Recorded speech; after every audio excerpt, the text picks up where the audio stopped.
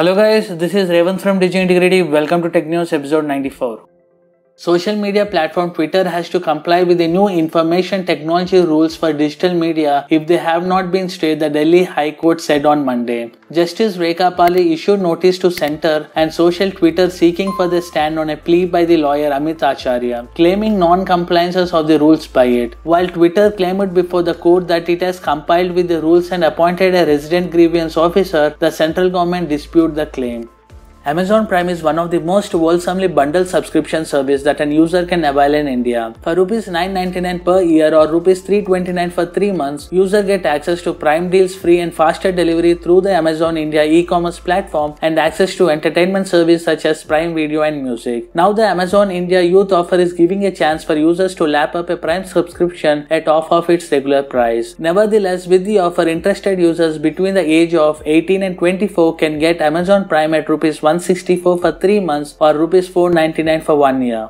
Popular audio device maker Harman is celebrating its 75th anniversary. The company is expanding its celebration by offering free Amazon Prime membership to its customers. Those who purchase any Harman product via Amazon India are assured to get free membership and coupons. Purchases can include both JBL and Infinity products which come under Harman's product offering in India. The offer period is valid between May 15th and July 31st, 2021.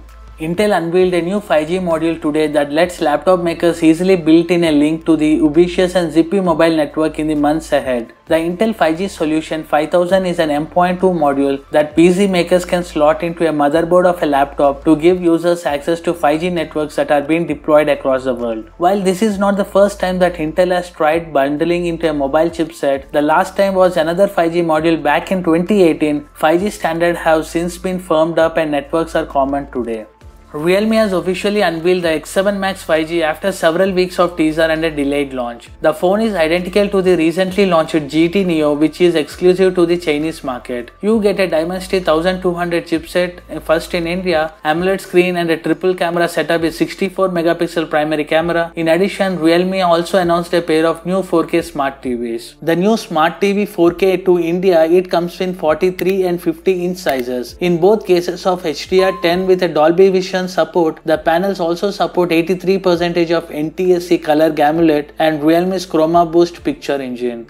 Back in 2016, Meizu launched the Meizu Mix Hybrid, which featured an analog dial with some smart features. Today, the company announced the Meizu watch at its full-fledged smartwatch with eSIM functionality. In addition, the smartwatch delivers a 36 hours of battery life on a full charge and it features a Snapdragon 4100 Wear, which is Qualcomm chip for smartwatches.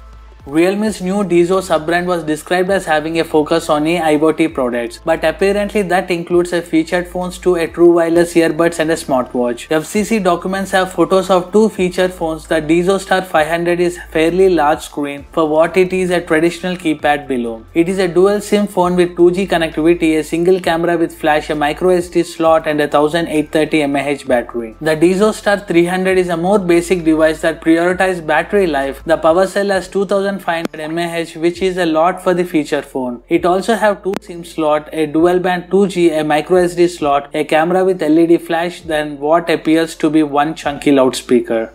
Xiaomi recently unveiled the Redmi AirDots 3 Pro in China. The new truly wireless earbuds from Xiaomi comes with a feature like active noise cancellation, 7.2mm drivers etc. It could launch in India and other international markets. The new Xiaomi earbuds are now listed on Bluetooth SIG certification website ahead of the launch. The listing suggests that new earbuds could launch in international market as Redmi Buds 3 Pro or the Poco Pop Buds. Poco had last year confirmed the launch of new earbuds. However, the launch was delayed due to the ongoing pandemic. Redmi Note 10 Pro 5G could be rebranded as a Poco X3 GT in India. Poco X3 GT is apparently listed on Xiaomi's official support page. Redmi Note 10 Pro 5G originally launched in China last week. The expected specifications are it comes with a 6.6 inch Full HD Plus LCD display with 120Hz refresh rate. It could come with a MediaTek Dimensity 1100 processor. It has a triple rear camera setup of 64 megapixel primary sensor, 8 megapixel of ultra wide angle camera and a 2 megapixel of macro lens. It comes with a 5000 mAh battery with a 67 watt fast charging support. Earlier this month, OnePlus rolled out Oxygen OS 11.2.5.5 update for the OnePlus 9 and OnePlus 9 Pro with May 2021 security patches, improvements and fixes. At the end of the month, the brand is now sending yet another system update for this handset with the build number of Oxygen OS 11.2.6.6. Since the launch, the brand has been seeing fixing issues with the camera system. The latest Oxygen OS 11.2.6.6 update for these phones is also about improvements and optimization for the camera system system as well as the network. The government of India is apparently planning on investing a heavy sum of 20 billion US dollars to help developing the LCD panel industry. The investment will be used to promote the establishment of production and LCD panel related supply chains in the country. According to the reports, the local news agencies have revealed that the local government is reportedly aiming to develop LCD panel production in India. The Ministry of Electronics and Information Technology will lay out investment incentive plans in 6 months that will facilitate the building of local panel production supply chains based on the MOUs it received from potential local and overseas investors. Samsung have been working foldable display technology in recent years. As highlighted by its patent in this area, the recent patent listing at the World Intellectual Property Organization shows that the company was working on a design titled Method and Devising for Providing User Interface in Electronic Device Having Folding Display. The patent was published on May 21, 2021 and gives an insight into the possible usage scenarios of such a multi-foldable device. Lenovo is presently releasing products on all fronts. Little wonder why the company recorded a milestone in its earnings for the 2021 financial year. Away from smartphones and PCs, the company has now announced the Xiaoxin Panda printer. The Xiaoxin Panda printer features a remote printing AI scanning and a wrong question search functions among other new features. It carries a retail price starting from 849 yuan that is $133. PUBG Mobile and Free Fire may get banned in Bangladesh, another setback for esports. According to Bangladeshi publication, the access to most popular games are reportedly getting restricted in Bangladesh. Previously, PUBG Mobile was temporarily banned in the country while the ban was later revoked. Further obligation regarding these two games are being discussed now in the Parliamentary Standing Committee of the Ministry of Post and Telecommunication. Moreover, Bangladesh Mobile Phone User Association called for action against both Battle Royale titles due to their addictive nature and their adverse effects on the youth generation.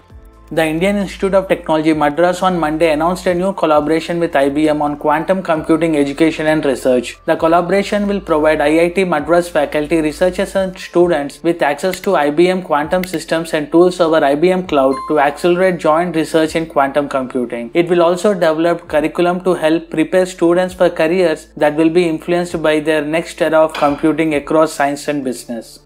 Actor come environmentalist Juhi Chawla Monday approached the Delhi High Court against the setting up of 5G wireless networks in the country, raising issues related to the radiation impact on citizens, animals, flora and fauna. Justice C. Harishankar, before whom the matter came up for hearing, transferred the suit to another bench for hearing on June 2nd. Juhi Chawla said if the telecommunication industry plan for 5G come to fruition, no person, no animal, no bird, no insect and no plant on earth will be able to avoid exposure. 24 24 hours a day, 365 days a year to level of RF radiation that are 10 times to 100 times greater than the what exists today.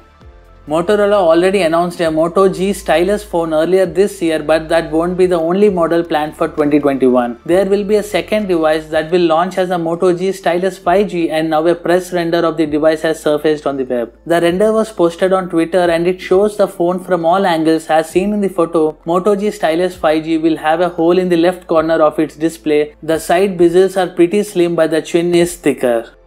Reliance Jio has perhaps become the biggest gaming company to strike a deal with global gaming giant. The company has partnered with Japanese gaming giant Sega to bring the company's games to its set-top boxes and other devices. The games will be available on the Jio Game Store which is preloaded on Jio set-top boxes and the Jio phone. The partnership begins with two games right now and it is unclear whether more games will be added in future. Jio's partnership is a good news for the Indian mobile gaming industry which has been seeing more and more partnership like this over the past year. As mentioned the partnership include two games right now, Sonic the Hedgehog 2 and the Street of Rage 3. The games will be available to JioFiber users first and will be the first Sega games to be available in Hindi and Tamil. The Huawei Watch 3 series is set to launch along with the company's proprietary Harmony OS, but just prior to its official announcement, images of the wearable have been leaked showcasing the device running with the new OS. Thanks for watching this video. Please kindly support my channel by giving a like, share and subscribe and follow DigiIntegrity on Twitter, Instagram and Facebook.